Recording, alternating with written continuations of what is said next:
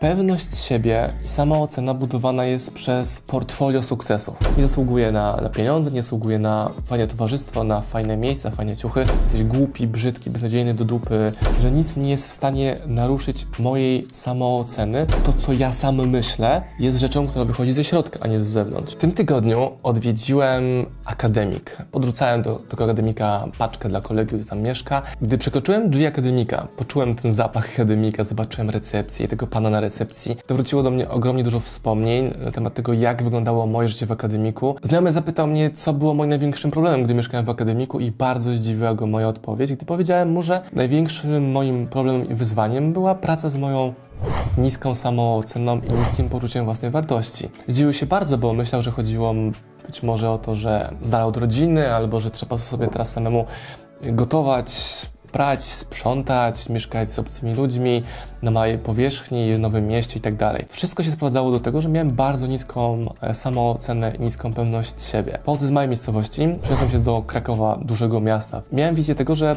do akademika idę po to, aby się uczyć, żeby zdobywać wiedzę, doświadczenie i żeby tym właśnie zmieniać świat. Jednak rzeczywistość była zupełnie inna, że akademik to nie jest centrum kultury, to nie jest centrum akademickie, to jest miejsce, w którym mieszka zbieranina przeróżnych ludzi o przeróżnych umiejętnościach z całego kraju, a teraz pewnie z całego świata, którzy charakteryzują się zupełnie innym podejściem do, do, do szacunku, do kultury, do dbania o siebie, niedbania o siebie, o różnych nawykach itd., tak itd. Tak Jeżeli teraz na to nałożymy jeszcze bardzo niski budżet, czyli pieniądze, które wystarczały mi ledwo na przetrwanie miesiąca, na, szczególnie na roku pierwszym, to mamy taką mieszankę dosyć wybuchową, a jednocześnie połączonego z wolnością i tym, że jest się poza domem i że można robić wszystko, a w sumie nie wiadomo co robić, no to robi się jeszcze bardziej ciekawie. Moja największa rekomendacja dla siebie samego z czasów akademika byłoby jak najszybsze danie sobie za cel zrozumienia, czym jest pewność siebie, czym jest samoocena. Czyli można mieć niską samoocenę, niską pewność siebie, ale sam fakt tego, że zaczynam się edukować w temacie, jak tą samoocenę i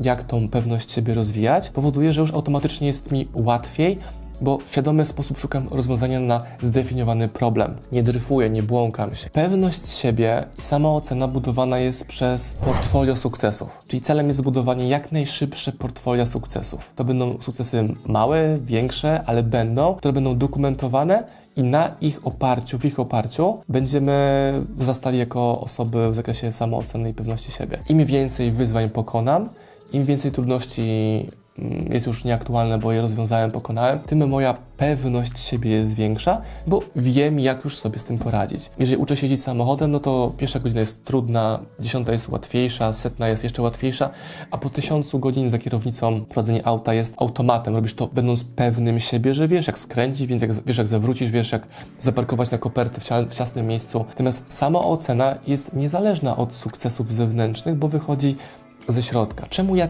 tak myślałem słabo i nisko o sobie. Nie mam pojęcia, czy to wynikało z wychowania, z mojej miejscowości, z nieodnalezienia się na początkowym etapie w dużym mieście, braku zrozumienia, braku e, rozwoju, może też młodego wieku, ale faktem było to, że efektem tej niskiej samooceny było, że mówiłem, czułem, że nie zasługuję. Nie zasługuję na, na pieniądze, nie zasługuję na fajne towarzystwo, na fajne miejsca, fajne ciuchy. Mi się wydawało wtedy, że ja w ogóle nie zasługuję na to, żebym mógł mieszkać w fajnym mieszkaniu. No przecież jak się idzie na studia, no to się płaci za akademik, czyli trzyosobowy pokój, dosyć ciasny i często mało atrakcyjny. Gdy już byłem na, na końcówce studiów, dalej uważałem, że nie zasługuję na to, aby mieszkać w fajnym mieszkaniu, tylko mieszkałem w ciasnym mieszkaniu wielopokojowym studenckim. Oszczędzało to mój budżet, a z drugiej strony jak teraz na to patrzę, godziło w moją godność. Ta sama ocena jest tym, co ja sam myślę na mój temat. A to, co ja sam myślę, jest rzeczą, która wychodzi ze środka, a nie z zewnątrz. Jest też realizowane przez to, że dopuszczam do siebie z zewnątrz jakieś komunikaty, jesteś głupi, brzydki, beznadziejny do dupy,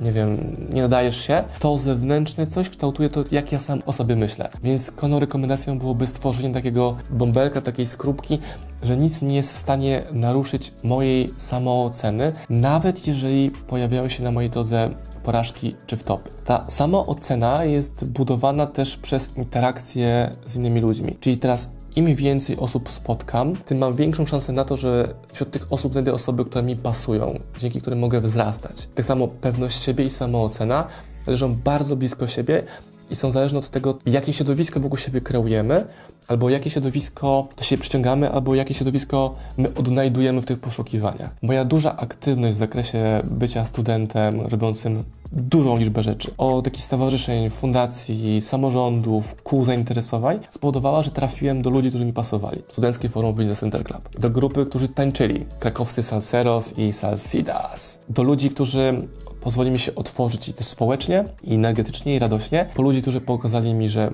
mogę tworzyć biznes, pokazali mi, jak ten biznes mogę realizować. Momentem przełomowym mojej największej, no, mojego największego wzrostu były najtrudniejsze momenty, czyli na przykład brak pieniędzy, brak komfortu mieszkania w tym akademiku, bo było ciężko, było różnie. Były momenty i piękne, i wspólne imprezowanie, i wspólne uczenie się, i nie wiem, spacery dookoła błoni w środku nocy i takie beztroskie wstawanie, kiedy się chce, ale były też momenty trudne, momenty samotności, podłamania, zawodów, nawet braku miejsca, ucieczki, bo zawsze wokół ludzi w tym akademiku jesteś. I teraz im szybciej doświadczałem nowych rzeczy, nowych wyzwań, przygód, tym moja pewność siebie rosła, ale nie rosła z nią liniowo ta samoocena, bo dalej wynosząc te rzeczy, z którymi wszedłem do życia studenckie, akademickie, a nie przerabiając tych lekcji w zakresie samooceny, tego, co sam myślę na swój temat i nie muszę myśleć, że jestem najbardziej zajebisty na świecie, a teraz tak uważam, bo tak właśnie jest. Wystarczyłoby, gdybym sobie w tej swojej drodze rozwoju nie przeszkadzał. Czyli odrzucił mówienie do siebie, hej, a jesteś chujowy, na rzecz tego, że nie wiem jaki jestem, ale sprawdzę to, nie przeszkadzając sobie samemu takim właśnie gadaniem, że jestem beznadziejny. Celem tego mojego wideo jest zaadresowanie tej, tego przesłania do każdego, kto wchodzi w świat nowych doświadczeń, nowego otoczenia i musi wzrosnąć jako osoba, a z jakiegoś powodu to nie idzie. Więc jeżeli to wideo z Tobą rezonuje, to się bardzo cieszę, że tym wideo Ci pomogłem. Jeżeli masz na przykład dziecko, nie wiem, kolegę, koleżankę, kumpla, znajomego, którzy mają takie wyzwania, weź im proszę to wideo podeślij, bo może właśnie to wideo będzie tą cegiełką rozwoju, której mi jako Osmanowi zabrakło lat temu 15 czy 20, a może właśnie to wideo jest tym, czego akurat ta osoba albo ty teraz potrzebują, bo z jakiegoś powodu nie mogą ruszyć dalej. Gdybyś chciał rekomendacji książek, które pomogą Ci ruszyć dalej w tym temacie, to polecam bardzo mocno książkę Do roboty Stevena Pressfielda. Książka ogromnie istotna dla mnie w zakresie tego, jak osiągać i robić więcej oraz e, wszystkie materiały, które produkuje Rafał Mazur na jego podcastach, blogach i płatnych materiałach. Pozdrawiam. Wujek e, Marcin Osman, dobra rada, który w akademiku nie mieszka, a którego tak bardzo poruszyła wizyta w akademiku ostatnio, że to wideo siadłem, nagrałem, bo zobaczyłem też, jak dużo szans traciłem właśnie przez niską samoocenę, niską pewność siebie. Oczywiście można powiedzieć, że hmm, tak miało być, ale może ten proces może u Ciebie wyglądać zupełnie inaczej.